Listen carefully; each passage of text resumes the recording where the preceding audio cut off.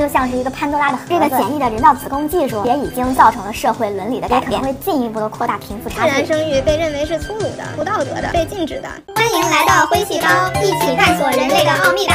最近代孕这个话题再次推到了聚光灯下。其实借腹生子古已有之，圣经创世纪里就有妻子无法怀孕而让侍女替自己生孩子的故事。随着科技和社会的发展以及需求的增多，代孕已经膨胀成为了一个全球性的现象。二零一二年，全球代孕行业规模已达六十亿美元。总结下来看，人们会选择代孕的几大原因，主要就是不孕不育。这里呢，包括了像是不孕不育的两性情侣或者同性情侣，再或者是单身的男子。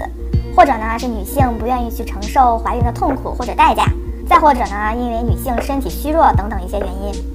而解决这些问题的手段，当然不止代孕一种，有一种更厉害的，也能全部解决，那就是我们今天要介绍的人造子宫了。说到人造子宫，不知道你会怎么想呢？其实呢，人造子宫就是指不在女性的子宫里，而是在体外发育胚胎，而且它并没有你想象的那么遥不可及。其实啊。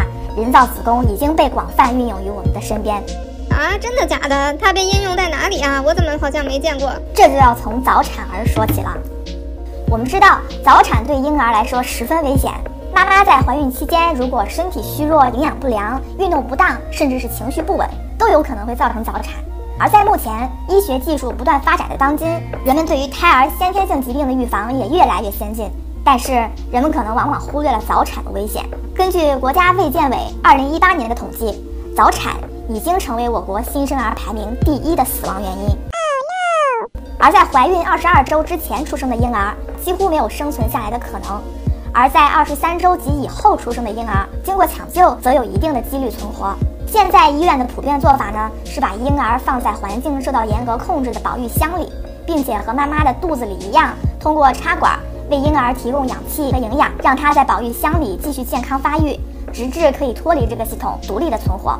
我感觉很有前景啊！再研究研究这个技术，就可以替代子宫，就可以为胚胎发育的全过程来提供一切东西了。然后再研究研究，我们是不是就可以进入黑客帝国的世界啦？我们的身体就被盛放在一个充满营养液的器皿里头，然后全身就插满各种的管子，来连通母体的各种信号。然后我们的意识就生活在虚拟的幻象之中。估计这帮科学家们在研究这个保育箱的时候，也没想太多，只想着怎么能救下早产儿。但科学发展的恐怖之处就在于，它就像是一个潘多拉的盒子，一旦攻破了这项技术，再深化一步，未来人类体外发育可能也将成为可能。所以这个保育箱，这样看来其实就是一个人造子宫的雏形啊。而其实呢，就这个简易的人造子宫技术，也已经造成了社会伦理的改变。主要涉及到的议题就是堕胎的合法实现。现在大部分社会都普遍承认，在胎儿还不能定义为拥有人权时的堕胎是合法的。但是，到底怀孕多久，胎儿才被看作有保持自己生命的权利呢？而这个问题其实一直争议不断啊。目前，美国法院的裁定标准是在这个时间点。胎儿脱离母体后，已经有了独立存活的可能。也就是说，如果你堕胎的时候，这个宝宝其实被拿出来时，已经有可能存活了，已经不是必死了，就认为他已经有了生命权。你这时候堕胎就属于非法啦。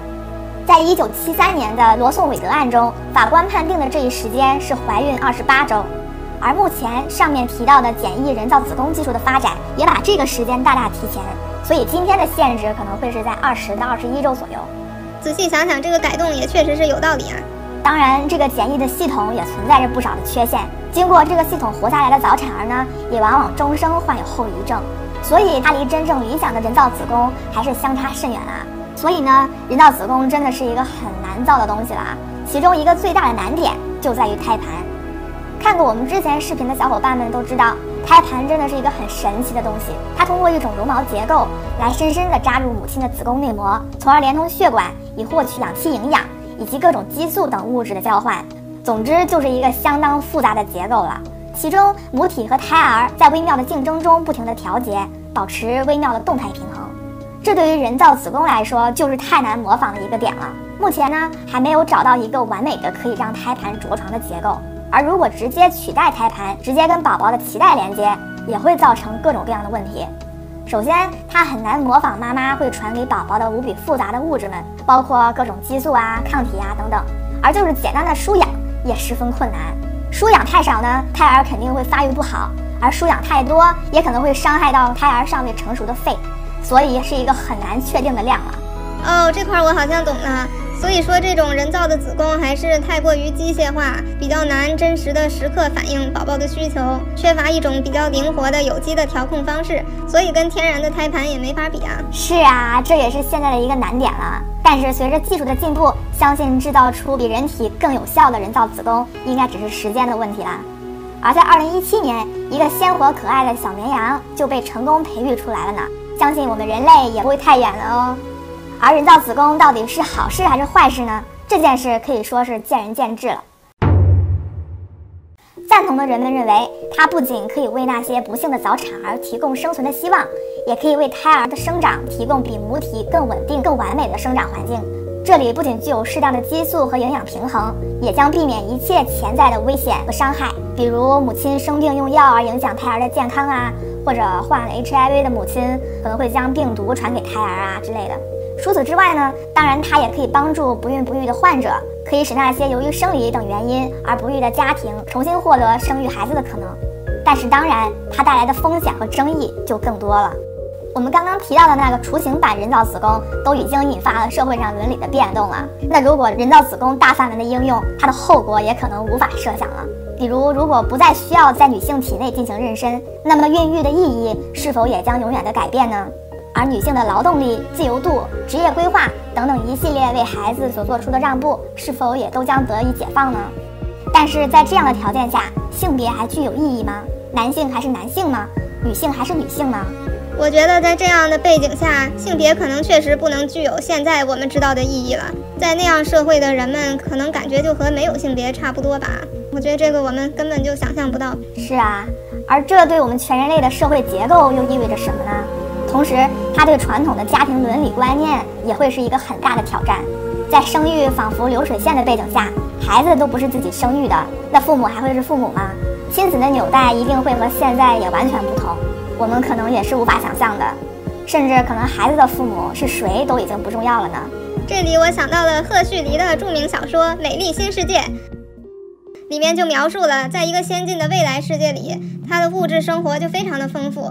然后科学技术也高度发达，人们呢都是由一个统一的人造子宫部门生产出来的。